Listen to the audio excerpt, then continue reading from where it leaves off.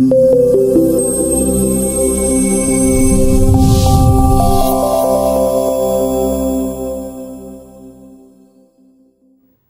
L'agro sarnese Nocerino ormai da diverse settimane è nella morsa dei ladri, una vera escalation che sta investendo l'intero comprensorio con furti negli appartamenti, presi di mira agli esercizi commerciali, rapine, scippi in strada dal centro alle periferie, assalti anche agli stadi comunali da bande del rame, prese di mira anche le scuole e trafugato il materiale didattico. Sono continui gli incontri istituzionali anche con prefetto e questore, riunione del Comitato per l'Ordine e la Sicurezza Pubblica. Da Nocera Inferiore a Sarno, da Scafati ad Angri, continuano però gli episodi gravissimi.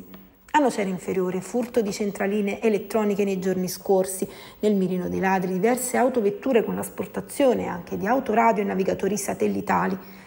Carabinieri, polizia al lavoro con indagini serrate su tutto il territorio e furti poi nelle zone periferiche, in particolare le aree di Fiano e la zona del cimitero.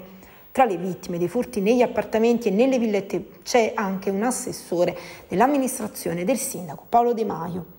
A Sarno diversi anche gli atti vandalici al Teatro d'Elise, compreso furti poi nelle abitazioni, addirittura una rapina ad un distributore nelle ultime settimane poi furti di fili e cavi in rame allo stadio Felice Squitieri per un danno di circa 35 mila euro, un danno anche alle società che quasi non potevano più usufruire dello stadio comunale. E poi la sinergia tra comune. E Sarno Servizi Integrati per il ripristino immediato dell'illuminazione e dei servizi per consentire proprio alle società sportive di usufruire subito dello stadio ed a Scafati, furti nelle scuole, blitz dei carabinieri nel centro storico pochi giorni fa, in particolare in una traversa poco distante dalla piazzetta Sansone, dove è stato ritrovato il materiale rubato in alcuni istituti scolastici del territorio, rinvenuto parte del materiale trafugato con diverse limri, lavagne interattive multimediali ed altro materiale didattico, tutto nascosto in un garage della zona.